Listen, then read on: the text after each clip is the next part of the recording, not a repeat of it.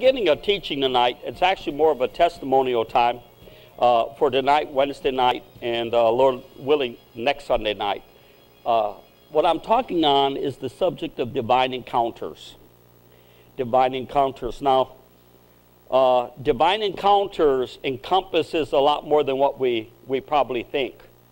Uh, the Bible is full, not just thousands, but tens of thousands of divine encounters. Uh, that means when, when God shows up in your life. Uh, I, think we have a lot more divine encounters than maybe we even understand or comprehend. I know back uh, in about 2011, uh, 12, I was speaking at a church down in um, Delaware, and um, I shared a couple of stories I had experienced in my life where God visited me spoke to me, used me, healed me, touched me, delivered me. And uh, the pastor, Pastor uh, he, Bob Myers, he says to me, said, after the, the service, he said, Oh, people just love stories. They just love these stories. And I said, Okay. So we went back to uh, the hotel we're staying in, and I took a piece of paper and I just got quiet before the Lord. I said, Lord, will you show me the divine encounters that I've had with you in my life? And, I, I and, and I'm telling you, I began to write. And the Holy Spirit, remember, the Holy Spirit will bring back to you what He has done, what God has done. I started writing, I write it, I wrote, uh, and before you know it, I had over a hundred, uh, a hundred experiences I remembered that God had done in my life. Now, you say, I don't really, I don't really need divine encounters. Well, let me ask you something. Uh, if Moses would not have had a divine encounter, would Israel had ever been delivered from Egypt? No. If Joseph had never had a divine encounter, would God have been able to use him to bring uh, his family uh, to Egypt and to save the whole world? If Moses would not and Noah would not have, have had a divine encounter, would he had saved the world by the building of the ark? No. Over and over and over and over. A matter of fact, let me show you something here in the New Testament, the book of Acts, the book of Acts, chapter 2. And that, that what's, what's really going on today is people, and I'm not talking about seeking, uh, seeking an experience. But I will, I, I do want to show you something here that's very important. You need to expect an experience. Let me clarify that. You're not seeking an experience, but you're expecting an experience. And here in the book of Acts, chapter 2, and you know it was, and when the day of Pentecost was fully come, there were with one accord in one place uh, all the disciples, and suddenly, say suddenly. That, that, that's how divine uh, experiences happen, encounters with God. And it says, and suddenly there came a sound from heaven as a rushing mighty wind, and it filled all the house where they were sitting. And there appeared unto them tongues, cloven tongues like as a fire, and it sat upon each of them. And they were all filled with the Holy Ghost and began to speak with other tongues as the Spirit of God gave them utterance. Well, how many would say that was a divine encounter? How many would say that was supernatural? How many know that is still available today? How, I'm going to show you something. How did they, how did they receive that experience? By faith. Expecting. By faith. You receive the Holy Ghost by faith. How many of you experienced the, the, the, the, the, the, the what we call the born again experience? What, was that not a divine encounter? Unless the Holy Spirit draws you, you can't come. So when you were convicted of your sins and you believed in Christ, that was a divine encounter. Now, there's, there's encounters that if we went from 1 to 10, there may be a 1. And then there's other encounters like 10, like Saul on the road to Damascus, and he's going to persecute the church, and all of a sudden, uh, here, comes Jesus in the heavens and appears to him, and everybody falls down like dead men, and Saul is talking to Jesus, Who art thou, Lord? He said, I am Jesus, whom thou persecutest. How many of you know that changed his life? Divine encounters will change your life. Look over here, and, and, and Sister Nancy and I were talking about this a little bit this morning in Mark chapter 11. Mark chapter 11. Jesus is talking about speaking to the mountain. He has cursed the fig tree, has he not? He cursed the fig tree. They come by and they see it all dried up in the morning. And in verse 24, listen to what it says here. It says, Therefore I say unto you, what things soever you desire, when you pray, believe that you receive, and you shall have. Here, here's the thing. I, I, I mean, I'm telling you right now, I have had hundreds since I've been saved. I have had hundreds and hundreds and hundreds of divine encounters with God. But I think I, I run into a lot of people who act like, well, God never gives me a vision, God never gives me a dream. So go back there again to the book of Acts, chapter 2. I should have kept you there. Acts chapter 2. And here comes this divine encounter on the day of Pentecost. Their lives were never the same. So all these people are coming together. They're running. They're hearing them speaking in their own language. Now, believe it or not, those people who are coming and hearing them proclaim the things of God, they may not realize it, but they are experiencing a divine encounter. You know how many times God has sent me places and people experienced God through me? Did you know that's why you're here? You're here to cause people to have an encounter with God. See, we're looking for an encounter, but what you don't realize as you're encountering God, you're causing people to have a divine encounter.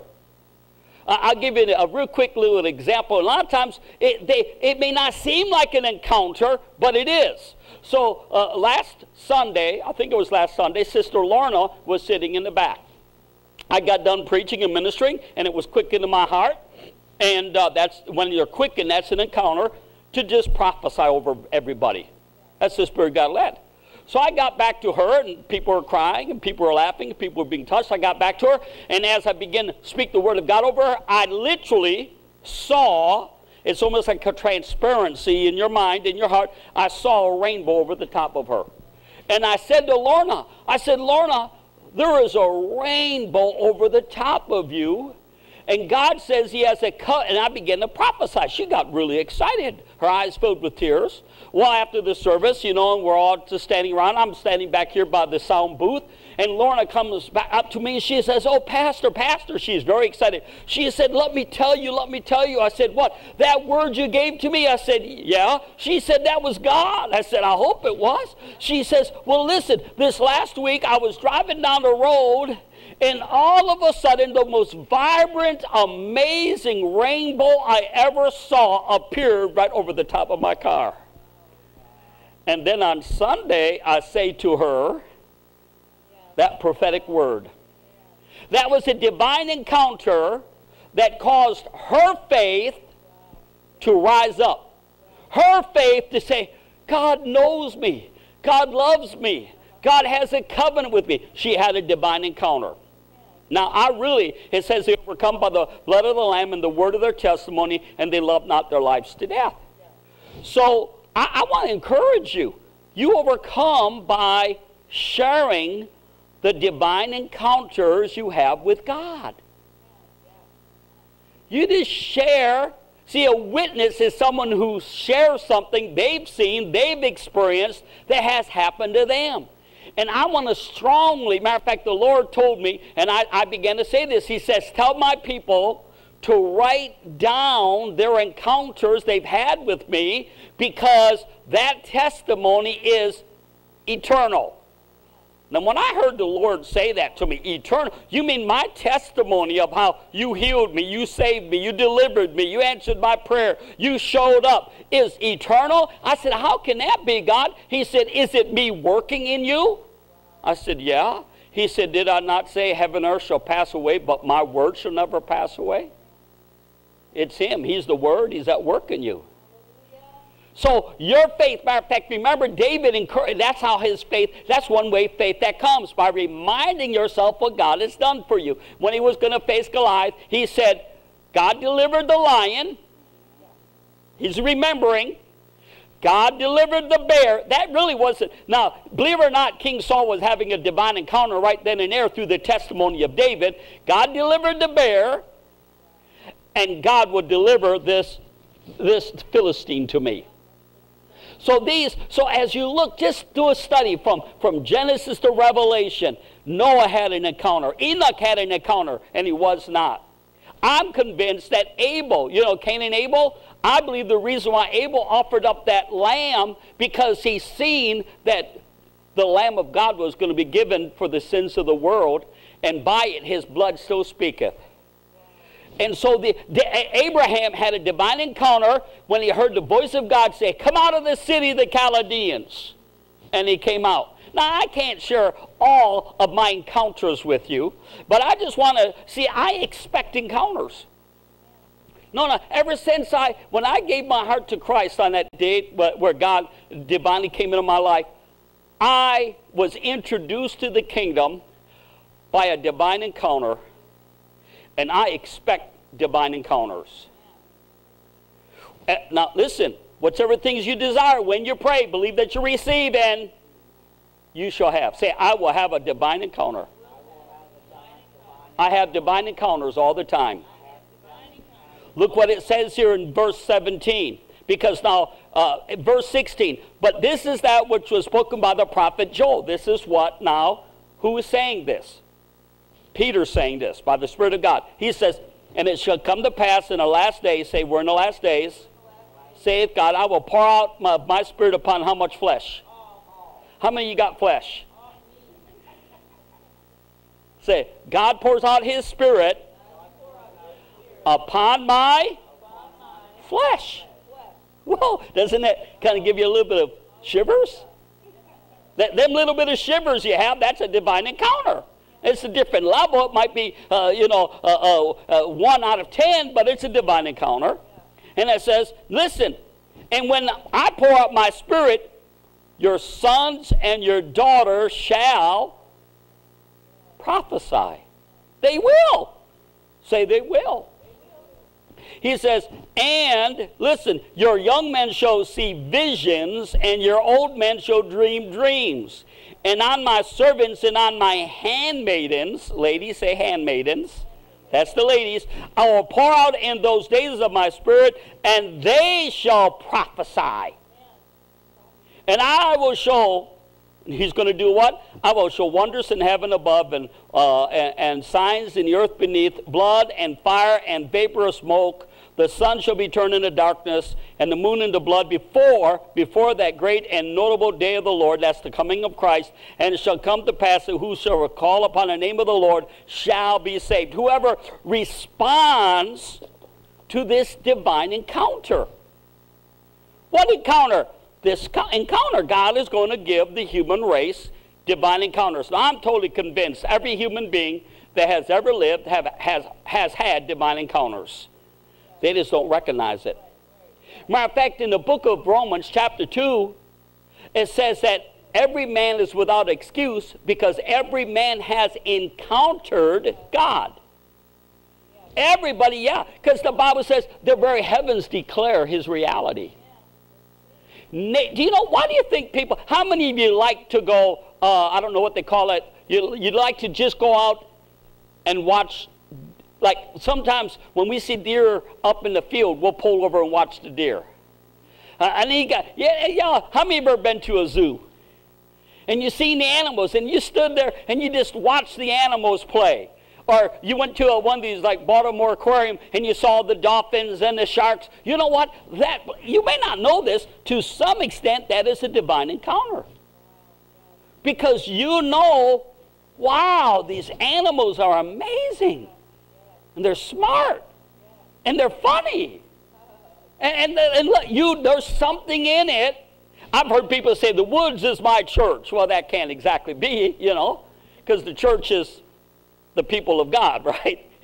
so the woods ain't your church unless you're a, you're, you're, you're, you know, you're a piece of wood. but the reality is the divine encounter. But I expect divine encounters. So I'm going to clarify this. I do not seek for divine encounters. I expect divine encounters. Let, let me just, what are you talking about, Pastor Mike? I do not seek healing. When sickness hits my body, I'm not trying to seek healing. Healing is mine. By his stripes she were healed. So if I were was, if I was I am, if I am I is. I is healed.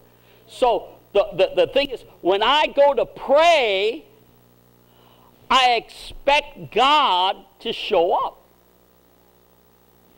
And really, a lot of times, you know, they that wait upon the Lord, they shall renew their strength. They shall mount up with wings of eagles. They shall run and not be weary. They shall walk and not faint. So people go to pray, and here's the problem they have. They have a watch. And it's like they're, okay, God, you know, only got 10 minutes now. God, you know, only got 20 minutes. Now, God, are you going to show up? There's no faith in that. God's going to show up. Call on to me, and I will answer you and show you great and mighty things. Matter of fact, you know, the awareness, and I'll call it faith, trust in my. Sometimes when I begin, because he says, draw nigh to God, and he'll draw nigh to you. There's times I had such anticipation of God showing up at any moment that I couldn't even go to sleep. I knew I was going to have a dream. I knew I was going to have a vision. I just knew that I knew that I knew God was going to visit me. That's almost like the woman with the issue of blood. Oh, I will, I will have a touch of God. All I got to do is push my way through the crowd. You know, sometimes when people have faith, you can see it in their face. Uh, Kenneth Hagin shared a story, and I actually wanted to get into some of mine because I'm writing a book called Divine Encounters. And for, uh, I said 40 amazing encounters with God, but actually, I'm probably going to have to put about 100 in the book because I just I want to share I want to say, what God does for me, He'll do for you. But I know that God will visit me. I know He'll visit me. I know if I pray, He'll hear. I know if I'll lift holy hands. I know if I dance before the Lord, He's coming. Huh? I know, I just know it. I just know it. And you say, is it feelings? Well, I would definitely say when you encounter God, He can affect your feelings, your mind, your emotions, your body. I heard an amazing testimony yesterday on Sid Roth's. Uh, he had a guy, Sid Roth, and Sid Roth basically it's called Supernatural. Go on YouTube, you can get his channel, and he has basically people who come in who have had divine encounters. And there was this this young, well, he no longer young, he's an older guy, but he he he. Uh, uh he was not really a Christian. He had a lot of emotional problems. Uh, he knew people were Christians. And uh, one night he had this encounter. He's sleeping, and all of a sudden it's like Jesus was there face to face with him. And, and he began to talk to Jesus, and the power of God was so real in this dream. He, he fell down, and he's in a green field, lush green grass. He's in a green field, and and he's just crying before God, and his face is in the grass. And, and, and then he was back in this room. And he thought, wow, was that, that was so real. It was like I was right there. What an encounter. That was probably number 10, you know, from 1 to 10. So, that, you know, so he, he, he, he wakes up in the morning, he's getting ready for work, and he, he heads off to work, and somebody sees him and knows him, and he's talking to him, and, he, and the guy says to him, he says, what's in your mouth? He, he said, what? There's, he said, You got grass in your teeth. He said, What? Listen, he said, He had grass in his teeth. Can God really do that? Yeah, we've seen oil. We've seen fountains of oil here coming. We've seen, we've seen, we smell. See, God created the physical world. I'm not saying that you You seek these things, but you expect them. And really, if, if we if you take away the divine, divine encounters of God out of this supernatural book, you don't have a book. The whole life of Jesus was divine encounters. Matter of fact, I'm convinced that before Jesus ever began to preach, that angels came to see him when he was in the wilderness for 40 days. Remember, he didn't act like it was a big deal. It says, after he overcame the test and the temptations by saying it is written, it says, angels came and ministered to him. I mean, I don't know if they brought a bucket of Kentucky Fried Chicken or what. But they they ministered to him. What do they mean? They fed him. Angels came in. Well, angels don't feed people. They did Elijah. Now, here's the key you can pray and begin to believe God that your loved ones have divine encounters. You can. Paul said, "I travail in birth again until Christ be manifested in you." So I'll, give an example. You said, "Is there examples in the Bible?" Absolutely. We just don't have time to go into them all. And and a lot of the testimonies I'll share tonight, it, it, my kids have heard all of these. But but that doesn't lessen the importance of them. So, anyways, here Elijah is, and they're surrounded by the Syrian army. And Gehazi says, What are we going to do? What are we going to do? And, and Elijah says, Don't worry, don't worry. It's okay. He said, Those who be with us are more than they that be with him. And so Gehazi turns around and says, Okay, hundreds. One, two. He said, What are you talking about? There's only two of us here. He said, Oh, your eyes aren't open. And he said, Father, or he said, God, will you please open his eyes for he can see what's really going on? His eyes opened up and he starts to scream. He says, Oh! He said, Chariots and horses of fire. He had an encounter with God. We can, I have prayed for people to have encounters with God. I have prayed that people's eyes with. I'm talking about sinners even. See, that's what we're here to bring divine encounters. But you got to expect them. I'm not telling you, yes, we believe for the encounters, but faith always expects. So it'll change your prayer life. If you really believe when you go, Father God, I really need help right now. And you said if I ask for help, you'd give it to me. Now, Father, I ask for help in Jesus' name. And then you go, now I've got it, Lord, and I thank you for it. Prayer, supplication with thanksgiving. Now, I believe that God really does visit everybody, but I, I, when I actually when I was first born, I was born with all kinds of physical disabilities. I was premature, and my mom, she took me, and I didn't know this too many years later. She took me to an Oral Roberts healing service because I was, I was sickly. I had been in oxygen tents. I was born tongue tied, uh, immovable bones in my ears. So uh, I was a sickly little boy. I, I still remember as, being little, uh, as a little boy being in a hospital a lot of times in an oxygen tent. Uh, my head was so hurting, even after she took me to the meeting, I'd beat my head against the hardwood floor because it hurt so bad. But she took me, she said, when I was a little baby, she got me to Oral Roberts uh, uh, meeting, but the crowd was so massive she couldn't get anywhere near. I guess she just got under the tent flap, you know? She says, but as, as Oral Roberts was preaching, she almost thought I was going into seizures because she said I was shaking so hard, shaking but I wasn't shaking under the power of devils. I was shaking under the power of God.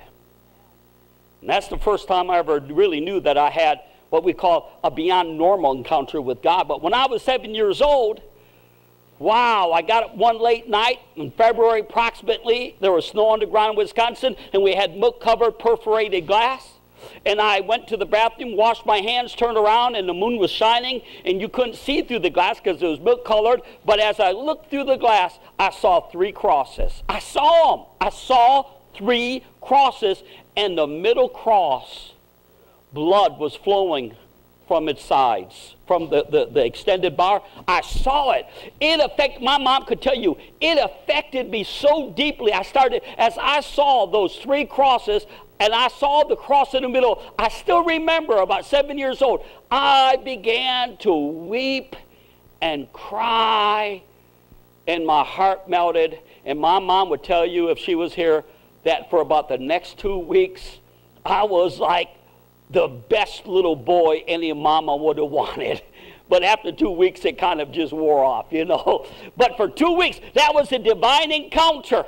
Well, then, approximately 12 years later, on, uh, on February the 18th, as I was committing suicide, weeping, wailing, crying. Every one of these stories could take an hour to tell, but I went to put that knife to my wrist and I experienced a divine encounter with God.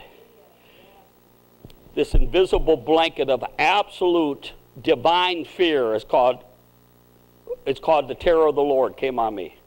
And I knew that I knew that I knew. See, if I would not have had that encounter, I would have gone to hell. What you need to understand is a lot of people will never get right without an encounter with God. And this, and, and that's why we need them.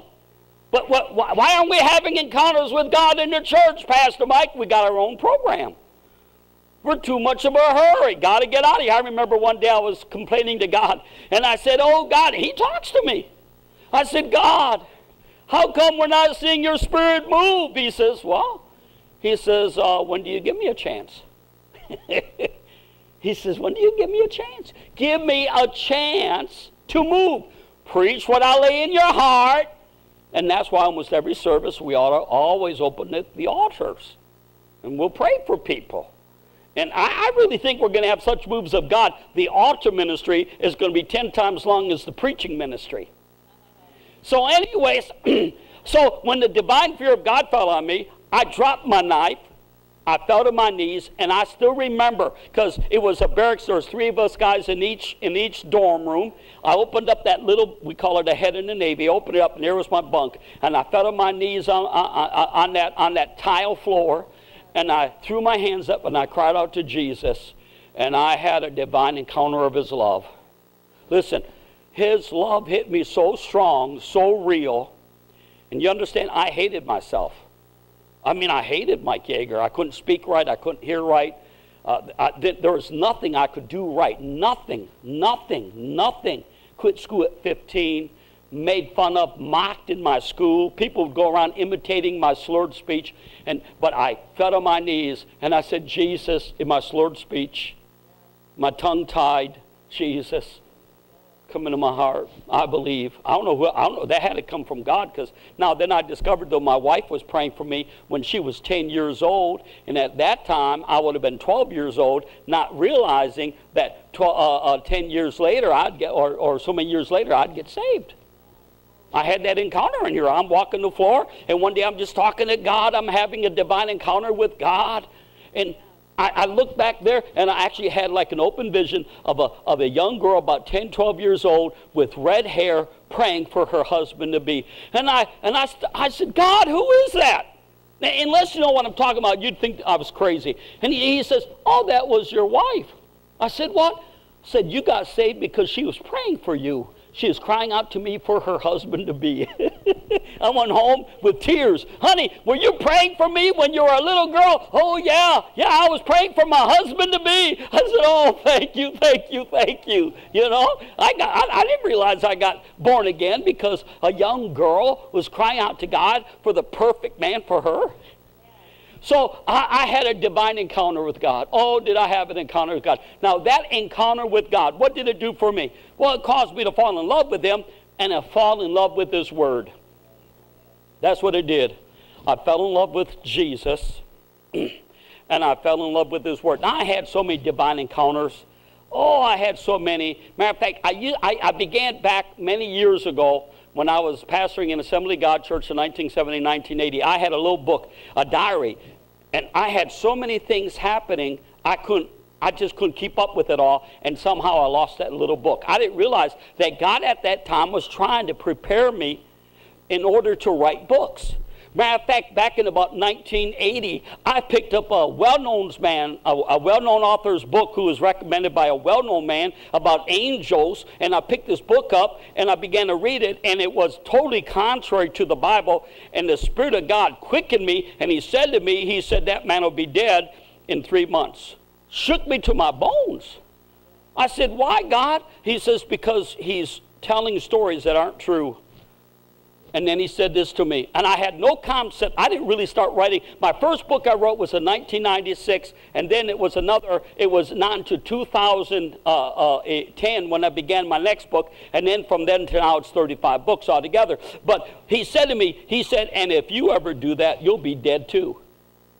And in three months' time, this guy was perfectly physically healthy. He had a big church. He walked in. I read the story. He sat down behind his desk and the Lord told me in three months he'll be dead. And he sat behind his desk, and somebody came in to see him, and he was gone. Now, that was a divine encounter with God. But see, you understand this. I expect encounters with God. I expect them.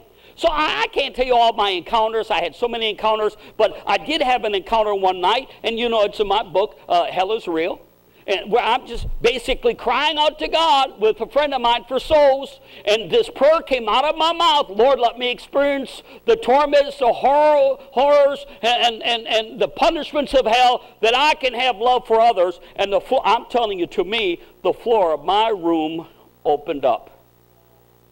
I mean, to me, it was physical. And I fell into hell for two and a half hours. Um, to me, it was real.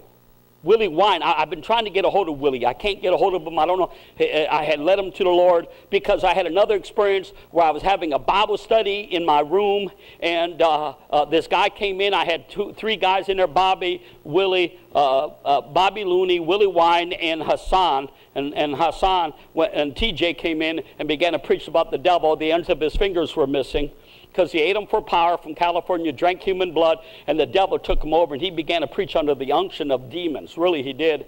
I ran out of the room, tried to get help, came back up. The guy wouldn't help me. I'm standing out there. Now, listen, I'm standing. I am standing in my foyer hearing this guy preach under the power of the devil. I look up to heaven. I cry out to Jesus. I am not exaggerating. I didn't make this stuff up in my head. A bright light out of heaven shined on me right through the ceiling tile. How does God do that? A bright light. I mean, it was like right there in a beam of the brightest light I've ever seen. Next thing I know, my, I'm preaching Jesus under the power of God. Willie fall, I mean, Willie and Bobby fall down. They get born again and filled with the Holy Ghost, speaking in tongues as I'm preaching. That's a divine encounter. Next thing I know, TJ, he's on the ground going like a snake, and we all run over and we lay hands on him. I cast the devils out of him. Voices and languages come screaming out. He got born again, filled the Holy Ghost, speaking in tongues, and revival hit that military base. See, I'm, I'm, well, how come, Pastor Mike? Because I expected. It. So, uh, right after I had that experience of going to hell, then I begin to cry out to God just worshiping him one night when I sensed something was about to happen. And I'm telling you to me. Now, Paul said, I will come to visions and dreams and revelations. That's what Paul said. Say, I will come to dreams, visions, and revelations. You know, it's like, what's a revelation? Is when God's word just uh, a couple, about maybe a month ago, I, I, was already had my sermon all prepared, but I'm always flexible. Most times I do not preach the sermon that I had prepared for the week. It's just the way it is. So I got up this morning and the scripture came to me. Uh, a thousand years is as one day to the Lord, and one day is as a thousand years. Well, I've never really thought about it. I, okay, uh, so my life, one day is a thousand years, so okay, so my life is just like a, a, a, a, spit in the dark. You might say, boom, I'm here, I'm gone, because, because a thousand years is, and then, but then I've seen it reversed, that to God, one of my days is as a thousand years. Now, I finally sat down and calculated it, put it into my new book called uh, About the Trumpet of the Lord, the sounding of the shofar. But it act, you know what that comes up to? That means because God's in the middle of the wheel of time, it's, and that's what we call, I will come to revelation. So, revelation is when the Word of God, you see things you never saw before. So, you and I get thinking sometimes, well, I know God loves me. He doesn't really care about me. No, he, he slows up in His world, in His realm. He slows up your time to where one minute, one second, now one second, a thousand years into one day, To God, one of our seconds, get a hold of this, is 60 hours.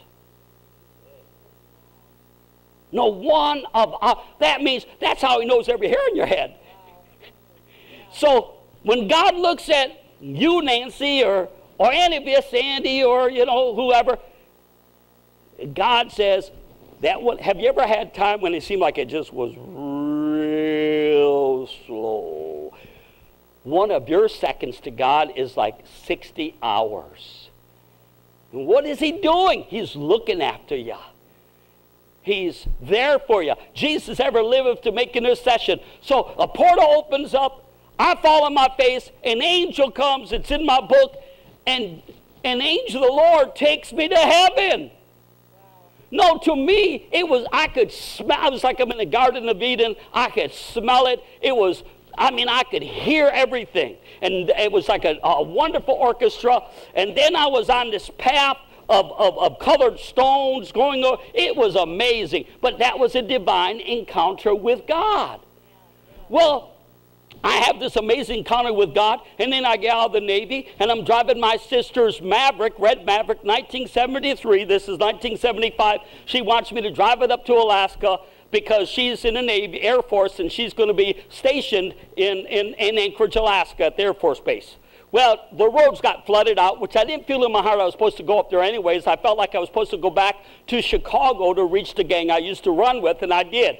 But see, all the, all the bridges got washed out. So I turned around. Now listen, I'm just, I'm not seeking an experience, but I'm expecting one.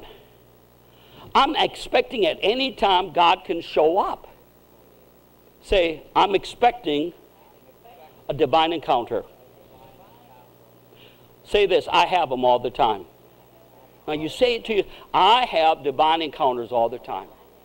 So I'm just a baby Christian. I'm driving my car, of my sister's car, in through coming out of Canada, and I, am just worshiping God. I'm singing Amazing Grace, uh, Jesus Loves Me. I didn't know a lot of songs back in those days, whatever songs. I, and I'm just, and as I'm singing it, I'm beginning to experience God. What do you mean? The river's beginning to flow. I'm beginning to cry.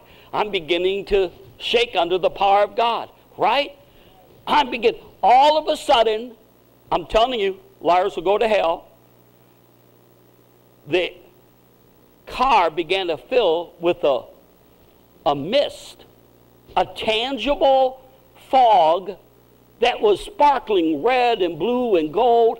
It got so strong I couldn't see out my front windshield. You say, What'd you do? I'm already going into the Spirit. So, without me knowing it, my hands come off of the steering wheel and I'm lost. I'm lost in this encounter with God. And after a while, my hands come back down. I stop crying. And when I, when I had that encounter, it was probably about 12 o'clock, 11 o'clock in the day. As my hands come off, uh, go back to the steering wheel, the mist begins to disappear. Guess what happened? The sun was setting, and somebody had driven my car for hundreds of miles. Come on, man, I've had some encounters. How did you get them, Pastor Mike? I didn't seek them. I just seek God and just loved His Word.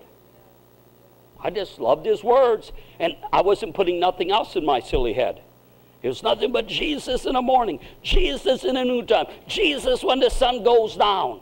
And, and, and when you get obsessed with Christ that way, he is looking for those who are obsessed with him. He says, Draw nigh to me, and I'll draw nigh to you. So, it, it, sometime later, I was uh, uh, uh, in Anchorage now, and I was going to Abbott Loop Christian Church, which is still there. You can look it up. Big church, charismatic church. So it was during the wintertime. I, I, I, I didn't have no car. I had a hitchhike. By the time I got there, the service was already going. Uh, over a thousand people. So I got into the back of the sanctuary, and their sanctuary in those days was like an amphitheater. So I sit in the very back row. The worship is wonderful. Well, guess what? I'm getting lost in God, and here comes the Shekinah glory again. That's called the Shekinah glory. And before I knew it, air, I'm telling you, my eyes are open. Everybody's gone. Have you ever been in a fog? You can't see the car right in front of you or your hand in front of your face. And I, I, I used to get lost in the swamps of Wisconsin raccoon hunting, and you couldn't see nothing. This ain't like that kind of murky fog. This was glistening with it, it, almost like every every speckle of that Shekinah was like diamonds. And just, oh, I'm weeping, I'm crying, and I'm lost in the Shekinah glory. That's the kind of Christianity I've had. Hundreds of experiences. I'm telling I am not lying. Hundreds of experiences. But I expect them. So uh, the, uh, so I go back to Wisconsin and, and, and, miracle after miracle, and the Lord sends me back up to Alaska again to meet an evangelist that I eventually went to Mount Union Christian Center with. And as I'm up in Alaska, his wife, Bob and Helen Rhodes, they got a little yellow Toyota, and we stopped at a little country church on the way to Fairbanks, Alaska. And we walked in, and there was a little lady who was in a pew and her and she looked over at me and when she saw me i knew by discerning the spirits she had demons. And i heard the lord say she needs deliverance. She got up. She ran out of the church. So i already understand authority. If you don't understand authority you can't move in authority I had to go talk to the pastor. Well, their church service wasn't very long, wasn't even a Pentecostal church. We just stopped for church on a Sunday morning.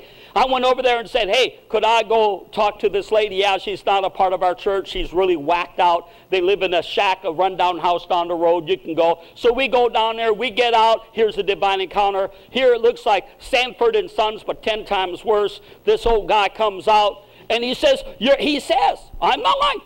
You're men of God. You're men of God. See, it's like the book of Acts. I know you come to help my wife. And I said, Yes, where is she? She's down in the summer kitchen. This was right around July, August. And so I took this goat path down, opened the door up, screen door. Bob's right behind me. And here, this woman, she's over at a big tank and she's peeling carrots with the biggest knife, butcher knife I ever saw. I mean, she, listen, I'm not lying. Her head like one of these satanic movies, say her head swiveled around on her body and her body stayed still.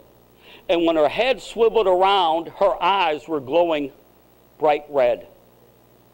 Fear filled my heart for a moment. I kind of stepped back and was, Whoa, you know what have I got myself into? But faith rose up in my heart and I began to preach Jesus at her. Next thing I know, she spins around faster than you can imagine, supernaturally, and she comes at me and she literally leaps. I am not lying. I've always never gave the full experience of what happened. She jumps through the air like a monkey, and she jumps on top of me. She's hanging on me, and she begins to pummel me in the face like this. She's hitting me in the face. I feel her hitting me. Spirit of God rose up. I said, In the name of Jesus. Now, Bob was there. He could verify this. He's still alive. The power of God picked her up and she flew through the air about 10 feet, slammed against the back wall of that summer kitchen, crumpled to the floor, didn't get one bruise. I went over there and cast the devils out of her. I mean, I, and then I found out afterwards that when she was a little girl, her uncle was sexually raping her. And then when he died, he kept on coming back and raping her all of those years. And she's a woman in her late 60s. But it wasn't her uncle, it was a familiar spirit. So I told this story years later, and Bob was there. He heard me tell the story. And he said, he came to me after the service. He said, Mike, eh, that, that's not right. That's not right. I thought maybe I exaggerated. I said, what do you mean, Bob? He said, Mike, because I said she dropped the knife. Said, Mike, she didn't drop that knife. That knife was in her hand. And she was stabbing you in the face with the knife. I thought you were dead. Guess what? The knife couldn't penetrate my skin. Give the Lord a hand clap and a shout. Now, these, these, these are divine encounters that I, have had with God uh, over and over and over. And, and you heard the story when the Lord had me go up and live with the Yupik Indians. And they were persecuting me. I'm out there in the bush. I had to take a bush plane out, land it with pontoons, and and uh, they used to do what they call an underground maquet and uh, a steam house, and they were going to steam me out. And I got in there, and the Spirit God told me they're going to try to steam. We're all in there naked, except we had a washcloth between our legs. That's how they do it. And they would dump water on a great big 55 gallon barrel, with stones on it, and they got it so hot the stones were almost red. And then a lot of them young natives, they would do a contest, and what they would do is they would pass out and die. It got, have you ever been in a real hot steam house? Have you ever had a, a, a bucket of water on the stove, and you had a cover, and you pulled the cover back, and the steam hit you in the face and made it, and going to melt the skin off your flesh. Well, that's how bad it was. But the Lord told me that's what they were going to do. And there was an old guy that looked like a walrus with, the, with most of his teeth gone, and he begins to dip it and splash it. Now, these young three men, they've been doing this their whole life. I'm the white guy. I can't even give you the name they called us. You know, they have a Yupik Indian name. It was terrible. And they would mock us, you know. And, and, and so, I, especially since I'm a Christian, and they would splash it. And guess what? The Lord told me to pray. So I'm there. I've got that washcloth between my legs, and I'm and, and it's just like a wooden, like a wooden uh, piece of wood on, on bucket you're sitting on. And I'm in there, and it's an underground facility. They put, you can go on the web, they put sod over the top, you know, in order to keep the heat in there. And I'm praying in tongues. Oh, thank you, Jesus, because the heat is hitting me. But every time I'm speaking in tongues, I'm telling you, a cold breeze would hit me. Shh, felt like air conditioning. I probably got cold. They're dumping the water. Next thing you know, they're getting mad. I mean, I can feel them getting mad because this white boy, he won't get out and it's getting too hot for them. They can't handle the heat. So all of a sudden, I hear the door open up and slam. There, one of the young guys was mad because, man, this punk of a white kid, you know, and I'm not a big kid, and he, he, I outlasted him. Next thing you know, there goes the door again. There, and before you know it, just me and that old guy. He looked over at me, I looked at him, and he gave me a wicked smile. And he started dumping it on. Now fear is beginning to fill my heart, and it feels like I'm going to die. I get to praying, I get to praying, I get to praying, and the Holy Ghost would come, and the wind would come, and I'd be nice and cold. Next thing I know, I heard this humongous splash. Wow. Here the guy threw the whole bucket now I'm telling you, in the natural, if God would not have intervened, it would have melted the flesh off of my bones. And for a minute, I flipped out, I fell on the floor, and the Holy Spirit says, Get back in this spirit. Get back in this spirit. So I did, and a cold wind blew over my naked body. Woo! And then after, and when I first tried to get out, because I panicked, they locked the door on me. They wouldn't let me out. You know, they're going to let me die. You know, I would have passed out. But after a while, you know, I just laid on the floor, and after a while, opened up the door. I walked out, and we never said a word. I sat down, and, and from the time until I left that village, nobody, they would stare at me. Like, what is he made of? How could he handle that heat? It was the Holy Ghost. Say the Holy Ghost. Now, how many know that's a divine encounter with God? No, no, that, that is a divine encounter with God. Um, I'll jump forward a number of years later. I had lots and lots of, I mean, I had lots of experiences. I have experiences all the time. I have experiences I never tell anybody because it's just too personal. But we're at uh, Mount Union Christian Center, me this evangelist, and I'm out there on the marquee one time, and I am just seeking God for three months now. I had kind of backslid, not the way that you would consider backsliding, but I got messed up with another young Christian lady who sang, and she pursued me, and I was stupid. And we began to get involved, and I got my mind off of Jesus. And then she dropped me for another guy. I thought was the end of the world, but it was the beginning of my world, you know.